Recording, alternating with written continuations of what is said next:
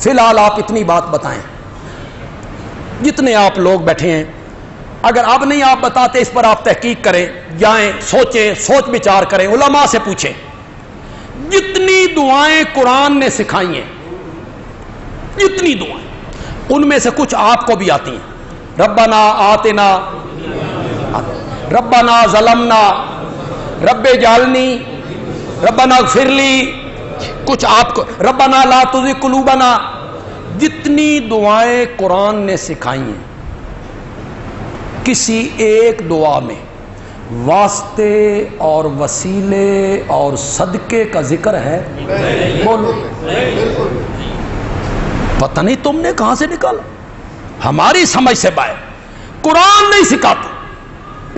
چلو، جتنی دعائیں آپ کو یاد ہیں، مسجد سے نکلنے کی، مسجد میں آنے کی کھانا کھانے کی، کھانا کھا چکنے کی، سواری پہ سوار ہونے کی، چاند دیکھنے کی، گھر میں جانے کی، نکلنے کی، لیٹرین میں جانے کی، وہاں سے جتنی دعائیں آپ کو یاد ہیں جو میرے آقا نے بتائی، کسی ایک میں وسیلے واسطے کا ذکر۔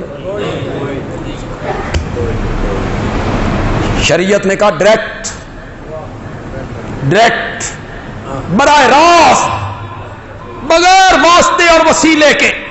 براہ راست پکارنا ہے تو کس کو پکارنا ہے؟ آئندہ جمعہ اس پہ روشنی ڈالیں گے انشاءاللہ۔ اس پر میں دلائل بھی پیش کروں